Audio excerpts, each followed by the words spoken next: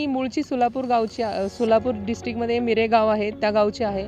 आई वडील माझे शेतात काम करतात स्वतःचं शेत आहे. तर त्याच्यामध्ये काम करत असताना थोडेसे प्रॉब्लेम्स आले कारण मिडल क्लास फॅमिलीमधून हॉस्टेल वगैरे हे आम्ही घेऊ शकलो नाही. क्रिकेटबद्दल एवढं माहिती नव्हतं कारण मी गावाकडचे होते. धोनी सर हे काही स- सर्व काही आहे क्रिकेटसाठी आणि दोन हजार अकराचा वर्ल्ड कप बघत असताना ज्यावेळी धोनी सरांनी जी इनिंग केली होती फायनलला ती इनिंग पाहिल्यानंतर मला असं वाटलं की मी ही सिक्स मारायला म्हणजे मला आवड आवडत होतं सिक्स मारायला. आणि मी ठरवलं की मी आता क्रिकेट स्टार्ट करायला पाहिजे. गावाकडचं वातावरण आत्ता चेंज झालं ज्यावेळेस मी सिलेक्ट झाले आणि ह्याच्या अगोदर मी ज्यावेळेस रणजी ट्रॉफीला सिलेक्ट झालं त्यावेळेस काही लोकांना समजलं की मुलींनाही क्रिकेटमध्ये प्रोत्साहन आहे आणि आता इंडियन टीममध्ये सिलेक्ट झाल्यामुळे तर गावाकडचं वातावरण एकदमच चेंज झालेलं आहे. आणि मला असं वाटतं की येणाऱ्या काही दिवसामध्ये गावाकडच्या मुली क्रिकेटला स्टार्ट करतील.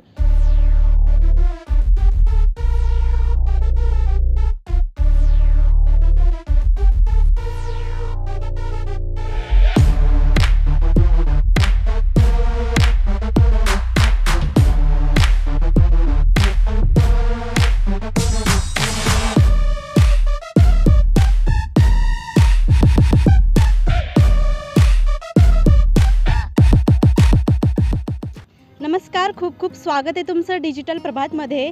सोलापुरातील एका छोट्याशा गावातून आलेल्या एका तरुणीचं तिने लहानपणी पाहिलेलं एक स्वप्न तिने पूर्ण केलेलं आहे. तिचं सिलेक्शन भारतीय महिला क्रिकेट संघामध्ये झालेलं आहे. तीच ती किरण नवगिरे आपल्यासोबत आहे.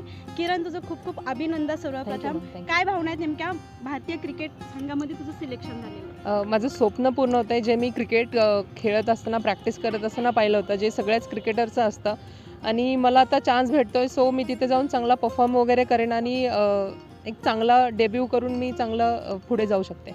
एकूणच तुझा आत्तापर्यंतचा प्रवास आमच्या प्रेक्षकांना ऐकायला आवडेल. मी मूळची सोलापूर गावची सोलापूर डिस्ट्रिक्टमध्ये मिरे गाव आहे त्या गावची आहे.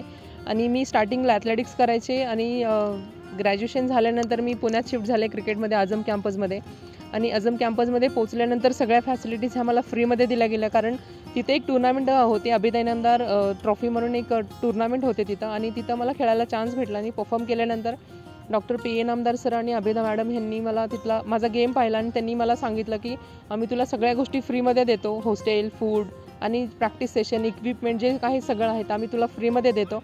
तू फक्त इथे राहून प्रॅक्टिस करायची सो एका प्लेअरला ते खूप गरजेचं असतं. कारण मिडल क्लास फॅमिलीमधून असल्यामुळे ह्या गोष्टी मी घेऊ नाही शकत. कारण हॉस्टेल खूप महाग आहे कारण शहर आहे पुणे आहे जेवणाचा खर्च ट्रॅव्हलिंग वगैरे सगळं. तर ते सगळं इनामदार सरांनी मला प्रोव्हाइड केल्यामुळे मी इथंपर्यंत पोहोचले आहे. एकूणच तुझं सांगितलं की तू एका सोलापुरातील छोट्याशा गावातून बिलॉंग करते.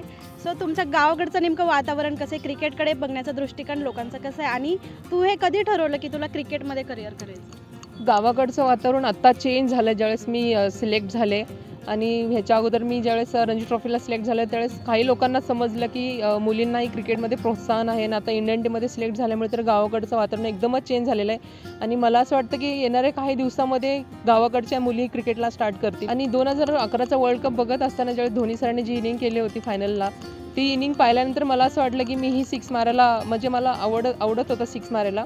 आणि मी ठरवलं की मी आता क्रिकेट स्टार्ट करायला पाहिजे. बट क्रिकेटबद्दल एवढं माहिती नव्हतं कारण मी गावाकडचे होते. आणि मग पुण्यात आल्यानंतर आझममध्ये आल्यानंतर मला त्या गोष्टी कळल्या की रणजी ट्रॉफी होते मुलींची टी ट्वेंटी चॅलेंज वगैरे होतात. आणि मग मी माझ्या क्रिकेटला सिरियसली चालू केलं. एम एस धोनी हे तुझं इन्स्पिरेशन असं म्हणू शकतो आपण? धोनी सर हे काही सर्व काही आहे क्रिकेटसाठी आई वडिलांचा घरून सपोर्ट कसा होता अ, आई वडील माझे शेतात काम करतात स्वतःचं शेत आहे तर त्याच्यामध्ये काम करत असताना थोडेसे प्रॉब्लेम्स आले कारण मिडल क्लास फॅमिलीमधून हॉस्टेल वगैरे हे आम्ही घेऊ शकलो नाही. ते आम्हाला इनामदार सरांनी इकडे प्रोव्हाइड केलं त्यामुळे मला हेल्प झाली माझ्या क्रिकेटसाठी आणि सगळं श्रेय माझे कोच माझे पॅरेंट्स माझे भाऊ इनामदार सर अभिदा इनामदार मॅडम सगळ्यांना जातात ज्यांनी ज्यांनी मला सपोर्ट केला हे सगळ्यांनाच हे श्रेय जातं. ती गोष्ट मिळवायची म्हटल्यावर त्याच्यासाठी जिद्द आणि चिकाटी लागते. त्याबरोबरच काही गोष्टी कॉम्प्रोमाइज करायला लागतात. तुझ्या आयुष्यात असं काही तू कॉम्प्रोमाइज केलंस का? मॅम कॉम्प्रोमाइज म्हणजे कसं की मी ज्यावेळेस घर सोडलं होतं त्यावेळेस मी ॲज अ बीपेड करायला गा अहमदनगरला गेले होते.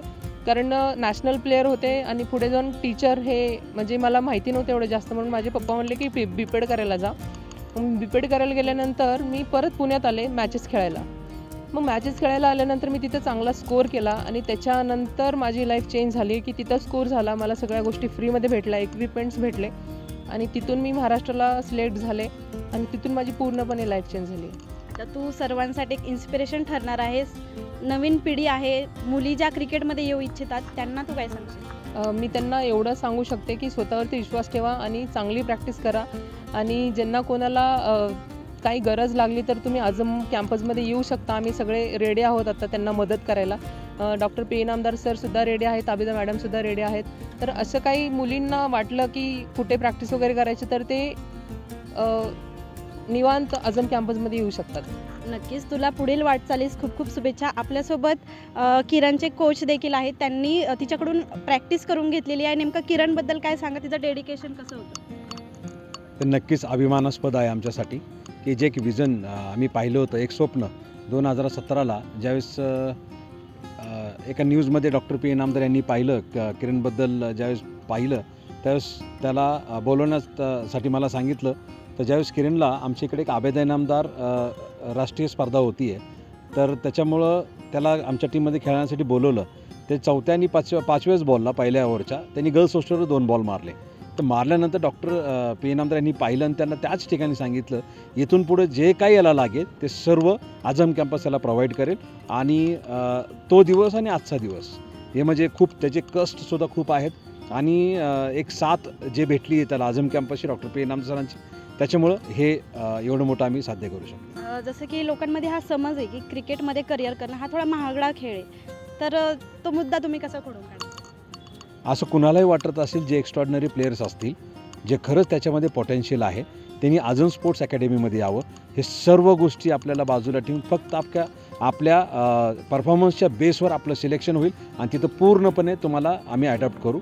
आणि हे मी डॉक्टर पी नामदार सरांचा हे मेसेज आहे की ज्या काही मुली ज्या एक्स्ट्रॉर्डनरी असतील मुली किंवा मुलं ते कुठलेही असू दे त्याच्यासाठी एक स्कीम चालू केली तर ते स्कीमच्या तहतच हे आमच्या आजचे रिझल्ट आलेले आहेत. जसं आपण पाहतो की शहरांमध्ये सर्व सुविधा उपलब्ध असतात परंतु गावाकडचे जे विद्यार्थी असतात मुलं असतात त्यांना करिअर करायचं असतं बरं योग्य तो गायडन्स नाही. तर गावाकडच्या मुलांसाठी किंवा ज्यांच्याकडे खूप सारं टॅलेंट आहे पण ते तुमच्यापर्यंत पोहोचू नाही शकत. तर तुम्ही त्यांच्यापर्यंत पोहोचण्यासाठी का कशा पद्धतीने प्रयत्न करता? आम्ही एक टॅलेंट सर्च म्हणून एक स्कीम चालू केलेलीच आहे त्याच्यासाठी. आम्ही काही गा गावांचे जे कोचेस आहेत जिथे क्लब्स आहेत किंवा गावाकडे ज्या ठिकाणी इंटरस्कूलच्या मॅचेस होतात. आमचं लक्ष त्याच्यावर पूर्णपणे आहे.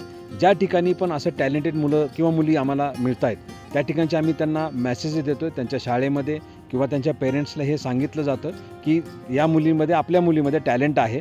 त्यांना इथं आझम स्पोर्ट्स अकॅडमीमध्ये घेऊन या. त्याचा सर्व खर्च आम्ही करू आणि फक्त त्यांना कष्ट करायचे आहेत. याच्या व्यतिरिक्त त्याला काहीही तिथं करायचं नाही.